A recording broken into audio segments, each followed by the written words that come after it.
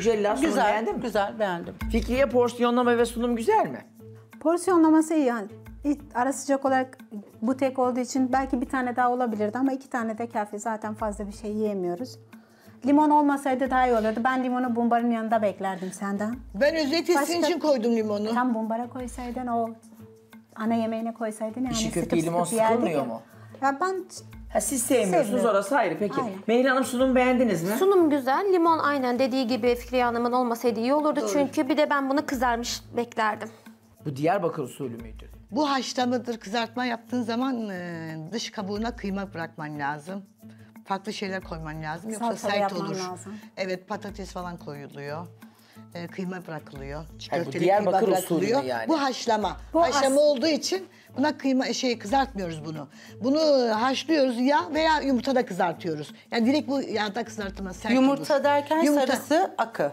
E, Beraber çırpıyoruz. Yok mesela ama Diyarbakır Evet. usulüne girdiğinizde e, kızartma olduğunu Kadir Bey sadece yumurtanın özellikle akıyla. kere Ben Diyarbakırlıyım. Diyarbakır Ben usulü biliyorum. Benim annem yapıyor. Eser Yani biz de Hanımcığım- araştırmalarıma dayanarak ben Evet. de söylüyorum. Eser Yumurtanın Hanımcığım, akı ile. Kadir Bey özellikle iki kere sordu ki Diyarbakır usulü mü? Evet. Evet, Ve Diyarbakır- şeklinden de usulü ben yani. çok evet, memnun. Haşlayıp kalmadım. yiyorsunuz. anladığım Haşlıyoruz. E, arzu Yumurtada kızarttınız oluyor. Aslında kaldığı zaman yumurtada Buyurun bu arada kızartıyoruz. soğutmayın afiyet olsun. Filiz sen beğendin mi? Elinize Ben sağlık. porsiyonu beğendim. Ben de kızarmış bekliyordum.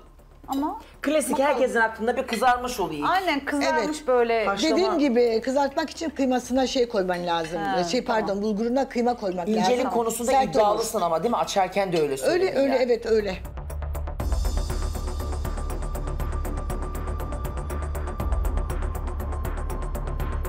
Mehri Hanım beğendiniz mi işi Beğendim köfteyi? elinize sağlık. Afiyet olsun. Beğendim.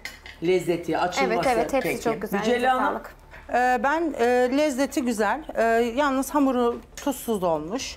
İç lezzeti güzel ama biraz evet yani beklemesinden kaynaklı soğuk biraz. Evet. Biraz daha sıcak olsaydı daha iyi olurdu. Evet. Yani bir de şeklinden ben çok memnun kalmadım. Çünkü Diyarbakır Yuvarlak. usulü dediğinizde muska tarzında daha üçgen şeklinde oluyor. Hani onu beklerdim sizden. bir Ben- de dediğim evet. gibi kızartma olarak biz alışkın olduğumuz için o şekilde bekledim. Onun dışında başka bir şey yok. Ben size bir şey söyleyeyim. Afiyet olsun. Teşekkür Elinize ederim. sağlık. Tuzu özellikle ben e, az tuttum. E, eklemenin şeyi var, olanağım var eklemeye ama tuzlu yemeyen olabilir. Ama aranızda. iç harcı değil hani hamuru de olduğu için bunu şekil dile getirdim. ya, asıl içli köftenin şekli böyle olur. Onu sonradan Bu mu? açamayan bö- böyle olur. Kuş gibi olur. Hatta bunun esprisini yaptık biz mutfakta. Annem de kuş derdi. Açamayanlar onu böyle nuska şeklinde yaparlar. Asıl açamayanlar o- uçamıyor gibisin. Evet, açamayan asıl açamayanlar var. Üçgen o şey senin dediğin gibi yaparlar. Şekil Ama o önemli daha değil. zor değil midir? Bak yok, hayır. O basite kaçar. Bakın.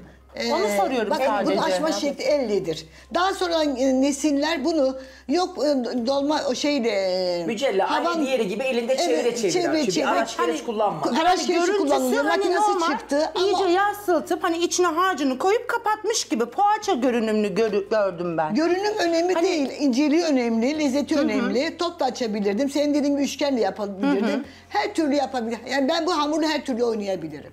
Yani tamam biliyorum. o Hamuru güzel olduktan sonra diyorsun. Her, her şekli türlü veririm. şekli verebilirim. Peki, evet. afiyet olsun Üç- Mücella. Üçgen de Teşekkürler. yaparım, e, kuş da yaparım. Kuş da kondururuz Bülbül her de şey olur. yaparım, Filiz evet, Hanım her şey- ben bu yaparım. şekilde ilk Beğendim. defa yedim. Evet. Ben beğendim. Limonlu da güzel oluyor sıktım. İyi koymamış, iyi olmuş. Aynen. Teşekkür ederim. Afiyet Zaten olsun. kızarmışına da biz limon Evet, sıkıyoruz. Çok evet, güzel oluyor. evet. Lezzetli oluyor. Güzel ben beğendim. Afiyet olsun. Afiyet olsun. Yorum yapmayan kaldı mı? Yok, eline Herkes sağlık. beğendi. Şey- ha, Fikriye. Ben söyleyeyim mi? Buyurun Filiz Bir Hanım. şey şimdi soracağım. Bunun iç malzemesinde e, ceviz olmuyor mu? O da, o da arzuya bağlı. Ceviz de arzuya bağlı. Arzu eder. Yağ falan Mesela güzel. Benim anneannem e, cevizi bir yarım cevizi içine koyarmış. Teyzelerim Hmm. Kırık e, ceviz. kırık kırık koyuyorlar. Sen benim hiç annem koymuyorsun. hiç koymuyor. He. Benim damak tadım öyle çocuklarım da damak tadı öyle gelişti. Koymuyorum. Hatta düşündüm e, cevizi et, tabaklara koymayı. süs. Basite katışar diye onu koymadım. Peki. Fikriye Hanım'ın Ben yorumunu cevizsiz yaptım. dinleyelim. Fikriye Hanım. Ee, Kadir Bey, şey pardon, Eser Hanım inceliği Evet. güzel. Ee, haşlaması bizim orada genelde biz de çok yapıyoruz bunu bilirsin. Biz bunu ana yemek de olarak yiyebiliyoruz Kadir Bey. Afiyet olsun. Bu nasıl olmuş? Güzel olmuş. İnceliği, kıvamı, çatlamaması güzel oldu. Evet, Peki. ara sıcağını beğendim. Eline sağlık. Evet. Özellikle ayran getirmen bu da Afiyet benim olsun. hoşuma gitti. Evet. sağlık. İnce açmışsın.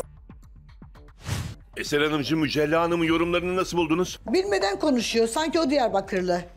Ben İzmirli. Hem bilmediği şey hakkında yorum yapıyor hem de bunun şekli böyle olmaz diyor. Evet, yok şu konacak, yok şu konmamış.